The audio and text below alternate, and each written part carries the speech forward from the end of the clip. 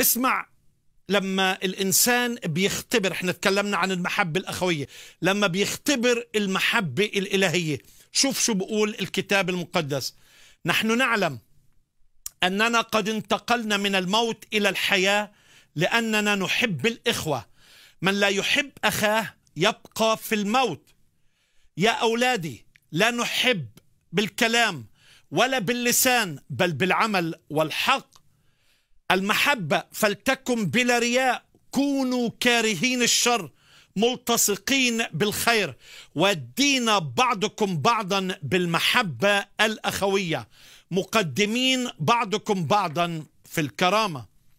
هذه المحبة تظهر من خلال علاقاتنا مع الآخرين ولا سيما العلاقات العائلية والعلاقات الزوجية وأيضا العلاقات الأخوية والعلاقات يعني مع البشر والناس. مش بس هيك حتى محبة الأعداء إذ قال يسوع أحبوا أعداءكم. تعرف أحبائي الشخص المؤمن الحقيقي بيطلع الشخص المؤمن الروحاني من بين ألف شخص. تعرفوا من علامة المحبة. اللي بيميز المؤمن هي علامة المحبة. أنا حكيت هاي القصة من قبل في إحدى المطارات.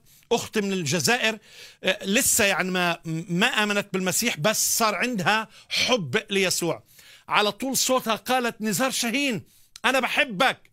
فلما رحت لوين شغل هاي بتشتغل بال security. فقالت لي اللي بيجذبني واللي بيعجبني في كلامكم هو محبة المسيح.